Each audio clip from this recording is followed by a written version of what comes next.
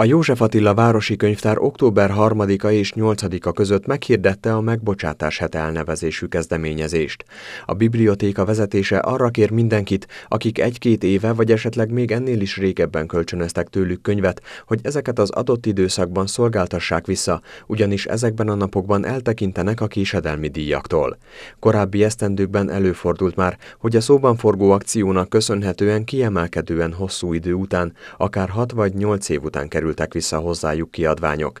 Ezekben az esetekben a késedelmi díj akár több százezres tétel is lehet, ennek megfizetése alól most azonban mentesül a kölcsönző. Kiemelték, az intézmény számára nem a büntetésekből befolyt pénzösszeg a fontos, hanem az, hogy a gyűjteményük egysége megmaradjon. A könyvek visszaszolgáltatására tehát október 8-áig e hét szombatig van lehetőség nyitvatartási időben.